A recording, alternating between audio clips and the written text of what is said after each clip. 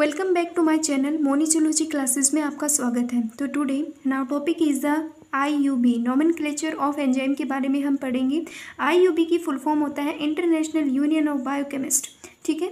जो एंजाइम होता है, उसको सिक्स क्लासिफाइड में डिवाइड किया गया है। The enzyme can be divide किया गया है सिक्स क्लासेस के अंदर, जो किसके ऊपर बेस्ड होती है? नेचर ऑफ़ रिएक्शन के ऊपर। जो नेम होता है एंजाइम का, वो किसके मतलब नेम होता है एंजाइम का, उसको आप कैसे डिफाइन करोगे कि ये एंजाइम होता है? एंजाइम जहाँ भी होगा मतलब जो भी एंजाइम होता है, उसके पीछे एज लगा हुआ हो तो वो समझ लेना कि वो एंजाइम है। The end of the name of enzyme end is ase मतलब एंजाइम के एंड में अगर एज लगा हुआ हो वो कन, उसको हम बोलते हैं एंजाइम। जो कंसिस्ट करता है दो पार्ट को मतलब first of is the part refer करता है फ़र्स्ट पार्ट होता है वो सब्सट्रैक्ट का होता है सेकेंड पार्ट रिएक्शन का होता है। एंजाइम होते हैं वो उसकी अगर हम क्लासिफिकेशन करते हैं नोमन क्लेचर के अकॉर्डिंग तो वो सिक्स टाइप के होते हैं। जैसे कि यहाँ पे सिक्स टाइप के होते हैं ट्रांसफ्रेज है ऑक्सीडो रिडक्टोज है आइसोमरीज है हाइड्रलेज है लाइगेज है लाइसेज है। ठीक है? ये पाए जाते हैं। जो ऑक्सी रिडक्टोज है इसके अंदर क्या होती है? ऑक्सीडेज होता है मतलब ऑक्सीजन का एडिशन होता है रिडक्टेज होता है ऑक्सीजन का आ, मतलब नेगेटिव होता है डीहाइड्रोजनेट मतलब हाइड्रोजन का नेगेटिव होता है। ये इसके तीन टाइप हैं। एंजाइम की क्लासिफिकेशन तीन टाइप सिक्स टाइप से उसको क्लासीफाई किया गया है। ट्रांसफ्रेज ट्रांसफ्रेज का अगर आप जैसे कि डायरेक्टली इनको कॉमन से समझिए ट्रांसफ्रेज का मतलब होता है ट्रांसफ़र से। ठीक है? आइसोमरेज का मतलब होता है स्ट्रक्चर का चेंज होना। हाइड्रोलेज का मतलब होता है वाटर का एडिशन होना।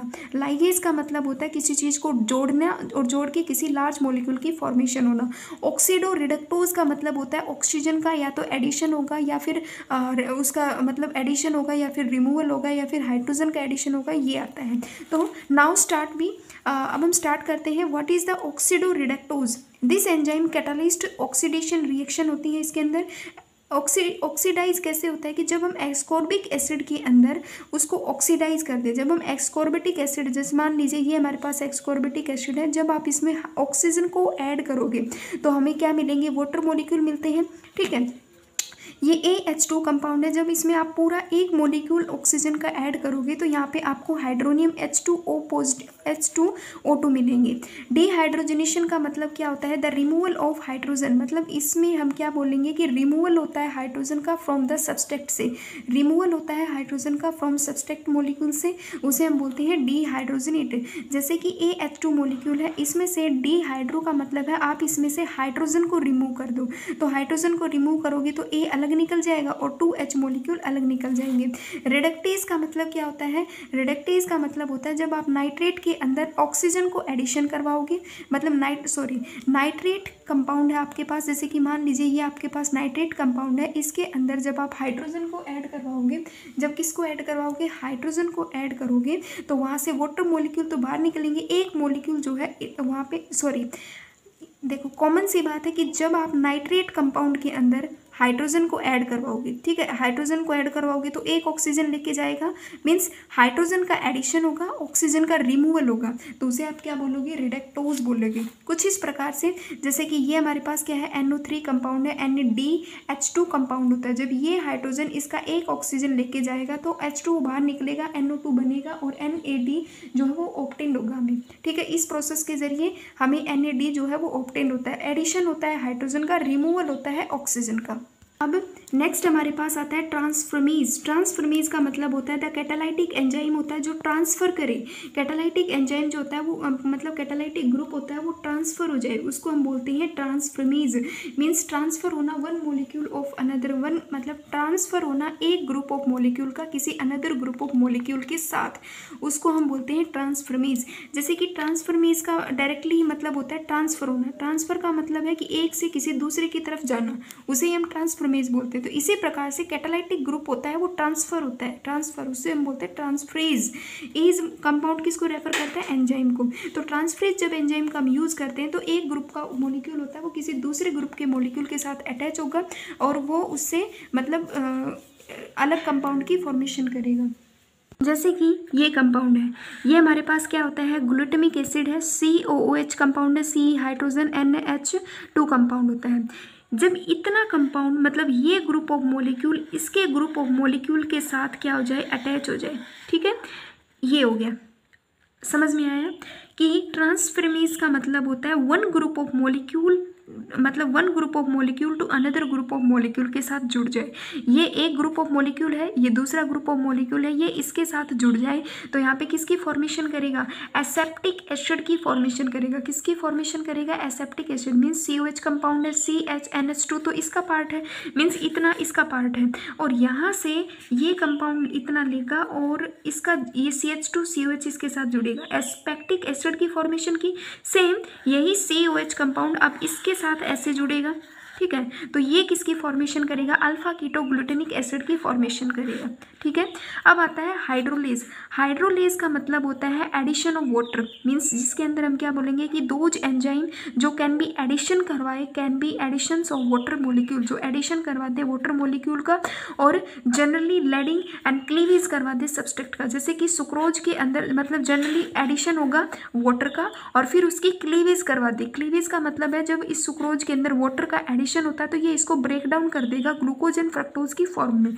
ये सुक्रोज का कंपाउंड कंपाउंड है, जब इसके अंदर वाटर मोलिक्यूल ऐड होता है, इसका फॉर्मूला क्या होता है? C twelve H twenty two oxygen eleven है। जब इसके अंदर वाटर मोलिक्यूल ऐड होता है तो ये हमें C six H twelve O six मिलता है प्लस में C six H twelve O six मिलता है। सेम इसी से ही आता है कि जब हम इसके अंदर आइसोमरीज एंजाइम का यूज़ करेंगे, मान लीजिए अगर ये कंपाउंड हमारे पास हो ग्लूकोज सिक्स फॉस्फेट हो, इसके अंदर जब आप आइसोमरीज एंजाइम का यूज़ करोगे तो ये glucose six phosphate fructose six phosphate के अंदर कन्वर्ट होगा। आइसोमरीज का मतलब होता है जिसका सेम मोलिकुलर फॉर्मूला हो, क्या हो सेम मोलिक्यूल फॉर्मूला हो बट डिफरेंट उसकी स्ट्रक्चर हो जाए, ठीक है? जैसे कि आइसोमरेज का मतलब होता है कि एंजाइम दैट कैटालाइट करवाते आइसोमरिक चेंज मतलब एंजाइम जो है एंजाइम एक कैटालिस्ट के जैसे एंजाइम कैटालाइट चेंज करवाते हैं आइसोमरिक फॉर्म को आइसोमरिक चेंज करवाते सब मोलिक्यूल फॉर्मूला मतलब उसमें, जैसे कि मोलिकुलर फॉर्मूला सेम रहेगा स्ट्रक्चर डिफरेंट हो जाएगा। ग्लूकोज सिक्स फॉस्फेट है आइसो फोस्फोहेक्सोइज की प्रेजेंस में आइसोमरेज की प्रेजेंस में फ्रक्टोज सिक्स फॉस्फेट के अंदर क्या हो जाएगा? कन्वर्ट हो जाएगा। लाइगेज एक एंजाइम होता है, जो कि कैटालाइटिक कवलेंट बनाता है किन्हीं दो मोलिक्यूल के बीच में। कैटालाइटिक का मतलब होता है कि ये कवलेंट बॉन्ड की फॉर्मेशन करता है किन्हीं दो मोलिक्यूल के बीच में। अगर कोई ए और बी मान लीजिए दो मोलिक्यूल जब जुड़ते हैं तो कोई एक ए एंड बी किसी लार्ज कंपाउंड की क्या होगी? फॉर्मेशन होगी। टू मोलिक्यूल बनेंगे and two form of large molecules हमें मिलेगा। एस्पेरेटिक एसिड होता है एटीपी और अमोनिया का कंपाउंड है जिससे एस्प्रिंग एस्प्रेंगिंग और ई और इनऑर्गेनिक फॉस्फेट हमें ऑप्टेन होगा। किसकी प्रेजेंस में एस स्प्रिंगनीज एंजाइम की प्रजेंस में अब हम बात करते हैं इनहिबिशन की। अब हम किसकी बात करते हैं? इनहिबिशन की बात करते हैं। मान लीजिए एंजाइम के ऊपर आके कोई इनहिबिशन वर्क करेगा तो उस टाइम पे क्या होगा कि जो वेलोसिटी होती है ना एंजाइम की, वो क्या हो जाएगी? जो वेलोसिटी होती है एंजाइम की, वो डिक्रीज हो जाएगी। ठीक है? क्या होगा? डिक्रीज हो जाएगी। जब हम किसी भी इनहिबिशन प्रोडक्ट को किसी एंजाइम के अंदर यूज़ करते हैं तो उस एंजाइम की जो वेलोसिटी होती है, वो क्या हो जाती है? डिक्रीज हो जाती है। The inhibition of enzyme activity is one of the major regular mechanism होता है सेल का। इट इज़ फॉलोइंग टाइप का जो इनहिबिशन होता है, ये मेनली हमारे पास दो टाइप का होता है। एक होता है कॉम्पिटिटिव कॉम्पिटिटिव का मतलब होता है कॉम्पिटिशन से। ठीक है? इस इन इस इनहिबिशंस के अंदर कंपटीशन होगा किसके बीच में? इन बिटवीन सब्सट्रैक्ट मॉलिक्यूल के बीच में और प्लस में किसके बीच में? इनहिबिशन के बीच में आ, मतलब क्या होगा? कंपटीशन होगा। एक होता है नॉन कॉम्पिटिटिव जिसमें कोई कॉम्पिटिशन नहीं होगा एक होगा फीडबैक मैकेनिज्म उनको हम आगे डिस्कस करेंगे।